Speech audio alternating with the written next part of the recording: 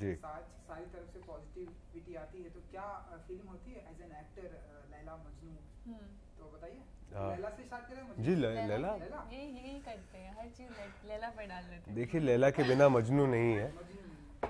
हाँ नाम भी पहले मेरा ही आता है। लैला मजनू मैं ही शुरू करती हूँ।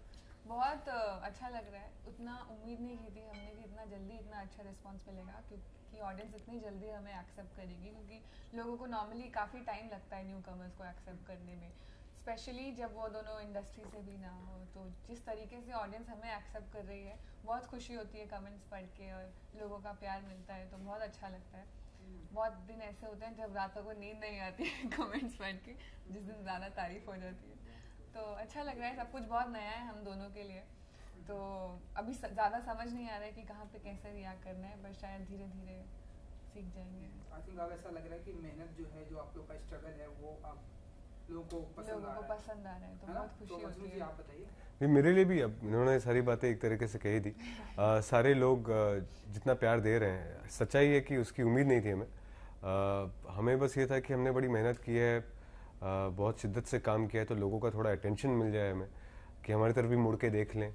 बाहर इतनी ज़ोर से आवाज़ हो रही है कि लगता है कि हमारी आवाज़ पहुँचती नहीं लोगों तक लेकिन थैंकफुली वो हो रहा है। हमारी आवाज़ भी पहुँच रही है दूसरों तक और उनका अटेंशन मिल रहा है और अब धीरे धीरे प्यार भी मिलना शुरू हुआ है। I hope by the film by the time the film release हो और लोगों को फ़िल्म पसंद आए तो शायद और प्यार मिलेगा। जी। तो चलिए आप इस लैला मजनू के बारे में जानना चाहेंगे। हमने सुना ये जो लैला मजनू प्यार में पागल है। हम्म। मजनू जो है थोड़ा फ्लर्ट भी करता है। हम्म। मजनू नहीं फ्लर्ट करता लैला फ्लर्ट करता अच्छा तो ट्रेलर में मैंने देखा ना ये तू ये तेरा फ्लर्ट करना बंद कर ये सब। तो नहीं नहीं। हाँ। वो मजनू नहीं है वो कैस है। अच्छा ऐसा। तो चलिए आप लोग बताइए। सर का डबल रोल है हमारे। अच्छा ऐसा। हम्म, तो चलिए बताइए लला जी हाँ आपके कैरेक्टर के बारे में। देखिए कैरेक्टर थोड़ा बिंदास टाइप का है। आज के ज़माने की लैला दिखाइए तो आज के ज़माने की लड़कियों की क्वालिटीज़ है उसके अंदर। बहुत ही खुश मिजाज लड़की है। उसको मज़ा आता है अपने पीछे लड़के घुमाना। उसको पता है कि हम्म। कश्मीर में बहुत फ़ेमस है वो। उसको पता है कि कश्मीर में सब लोग उसे बहुत पसंद करते हैं और उस बात की बहुत खुशी है उसको। ख्यालों की दुनिया में रहती है। फिल्मी है बहुत। उसको लगता है कि कोई एक उसके दिमाग में अपनी एक फ़िल्म चल रही है जिसकी वो लैला है। और बहुत ही किसी भी चीज़ को ज़्यादा सीरियसली नहीं लेती लाइफ में। She believe in having fun पूरा टाइम और इतनी बड़ी लव स्टोरी का हिस्सा है पर उसको शायद प्यार का मतलब भी नहीं पता। mm-hmm. उनमें से जिसको सिर्फ़ ये जानना है कि कैसा होता है कि आपका कोई लवर हो आप क्या बातें करते होगे उनसे कैसी फीलिंग होती होगी? उस फीलिंग के लिए ज़्यादा एक्साइटेड रहती हैं। mm-hmm. प्यार का मतलब नहीं जानती। तो उनमें से एक है। मुझे लगता है सर कोई भी कोई भी केस जिन जो ऐसी लैला से जिनका रूबरू हो जाए उसके बाद उसका मजनू बनना लिखा हुआ है। और हाँ तो आपने सुन ही लिया आपने देख ही। लिया और ट्रेलर में तो आप जो झलक देख रहे हैं वो तो है ही। तो मेरे लिए मुझे लगता है कि बहुत ज़्यादा कुछ करने की ज़रूरत नहीं पड़ी। जहाँ तक कैस का सवाल है मजनू एक तमगा है जो कैस को दिया गया। मजनू प्यार में पागलपन को कहते हैं। कैस एक बन लड़का है जो बहुत ही ऑनेस्ट आदमी है बहुत ही ऑप्टिमिस्टिक है बहुत ही पॉजिटिव है। I think that is one thing that will come out very strongly in the film the positivity of that guy rice बाप का बेटा है। uh, हमारा जो कैस है वो गरीब नहीं है। uh, जैसे आज तक जो कुछ वर्जन्स और अडेप्टशन मैंने पढ़े हैं देखे तो नहीं है। लेकिन जो पढ़े उसमें हमेशा कैस गरीब घर से रहा है। इसमें ये रईस है। इसके खुद के कुछ एम्बिशंस ड्रीम्स सपने नहीं है उस तरीके से। और एक तलाश है। इज़ सीकिंग फॉर समथिंग और कुछ हद तक वो पूरा हो जाता है जब उनकी मुलाकात लैला से होती है। उसके बाद जो कॉन्फ्लिक्ट्स हैं फ़िल्म के जो एक लव स्टोरीज में होते हैं वो होती है। उसके बाद से एक एक नया रूप निकल कर आता है उसके अंदर से जो है मजनू का जो आपको फ़िल्म में आकर देखने मिलेगा। भी है प्यार में पागल। तो जी। बताइए कि प्यार में कितना पागल हुए आपने भी जैसा कि बताया कि मतलब लड़कों को घुमाना बहुत ही अच्छा तो आप बताइए कि पहला प्यार कुछ याद है आपको? पहला प्यार? याद है आपको? पता नहीं पहला याद नहीं है। इतने सारे हो गए कि याद ही नहीं है पहला। पहला तो, तो हज़ार साल पुरानी बात है हाँ जी? तो प्यार लोगों को ये आज आज के जमाने की लैला है ना? आज के जमाने की लैला इनका हर बार पहला प्यार हो जाता है। हाँ, सही बात है। हर प्यार पहला प्यार। पर प्यार क्या होता है मुझे पता ही नहीं था। प्यार प्यार शायद हुआ ही नहीं है अभी तक ज़िंदगी में। हाँ नहीं। प्यार प्यार नहीं हुआ ऐसा प्यार नहीं हुआ जैसा मजनू को लैला से था और लैला को मजनू से था। ऐसा तो अभी तक नहीं हुआ पर बाकी अब सारे राज थोड़ी ना कोई। मुझे कई दफ़ा प्यार हुआ कई बार दिल टूटा है। जैसे आई एम श्योर आपका भी टूटा है। आपकी जो आँखों में ये इस इस सवाल के लिए जो बेचैनी थी ना वो वो देखकर ही मुझे समझ में आ गया कि आप भी उन्हीं में से हैं। सो हाँ तो प्यार से ज़्यादा अब टूटे हुए दिल को संभाल रहा हूँ मैं।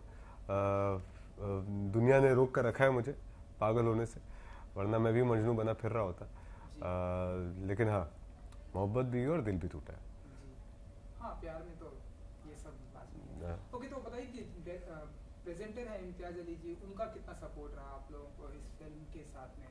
और कैसा रहा एक्सपीरियंस इम्तियाज़ अली जी के साथ उनका काफ़ी सपोर्ट रहा जैसे शुरू में हमारी वर्कशॉप्स जो होती थी काफ़ी सारे सेशंस हमारे इम्तियाज़ सर के साथ हुए रीडिंग सेशंस हुए उनके साथ लिपसिंग का उन्होंने हमारी क्लासेस लिए और हमारी केमिस्ट्री पे भी थोड़ा बहुत काम उन्होंने किया।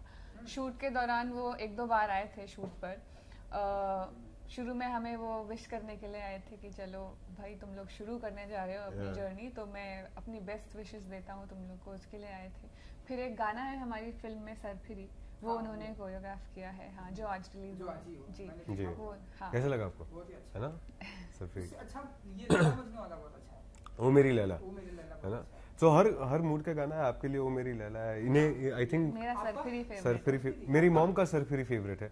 मैं बहुत कंफ्यूज हूँ यार। There radio radio version of O Meri Laila वो भी आप सुनिए जुक बॉक्स आ गया that is one my favourite songs Aahista मुझे बहुत पसंद है। और आप फ़िल्म देख कर आएँगे तो आई एम श्योर हाफिज को अपने दिमाग से नहीं निकाल पाएँगे। हाँ, तो हम कंटिन्यू कर रहे थे हाँ, तो सर फिर ही उन्होंने कोरियोग्राफ किया है। बहुत अच्छा एक्सपीरियंस था उनके साथ काम करने का। वो उनमें से हैं जो पहले आपसे पूछते हैं एज अ कैरेक्टर आप कितना समझते हो अपने कैरेक्टर को और स्टोरी को और फिर अपने पॉइंट्स रखते हैं कि मैं ये समझता हूँ। और फिर अगर आपको उनका कभी कभी होता है ये पर अगर आपको फिर भी अगर उनका कभी समझना है तो वो बीच का बैलेंस ढूँढने की कोशिश करते हैं। उनमें से एक है। बहुत इजी इजी गोइंग है।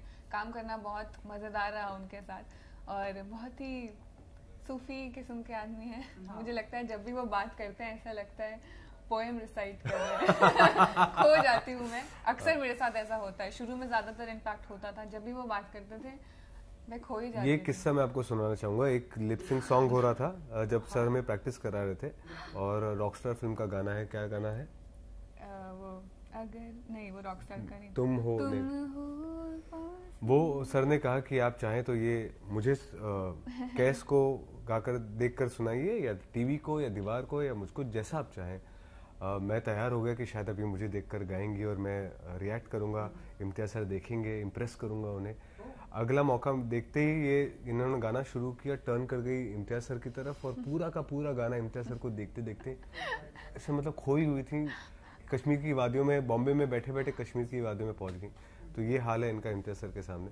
आ, मैं तो कसम से मैं क्या बताऊँ मेरी हालत आपको इस पूरे एक साल में ना जाने कितनी कोशिशें की हैं मैंने सिर्फ़ रिजेक्शन मिला इनकी तरफ़ से। खैर। Coming back to Imtiaz sir. Imtiaz sir से मुलाकात 2016 में हुई और Imtiaz sir as a fan मैंने उनको हमेशा उस तरीके से देखा है। Big fan I been in of him तो एक हमेशा डर रहता है कि जब आप असल में किसी आदमी से मिलते हैं ना जिसके आप फ़ैन हो तो शायद वो आपके पैरामीटर्स पे फिट ना बैठे। हाँ, ऐसा होता है। हाँ और ये पहले आदमी थे जो मुझे लगता है कि मेरे पैरामीटर्स को भी क्रॉस करके ना ही was beyond what I thought of him so that is very special उनसे जैसा इन्होंने बताया कि हमारी केमिस्ट्री पे काफ़ी काम किया उन्होंने we we use to work on scenes with us lip sync पे काम किया। उन्होंने एक्चुअली कहा कि you know I am gonna hold your hands you have to walk along this journey of Laila Majnu अपने अपने पैरों से चलना होगा लेकिन मैं तुम्हारा हाथ पकड़ के इस पूरी जर्नी में साथ दूँगा। And what that is what he has done and is been a fantastic experience for all of us blessed actually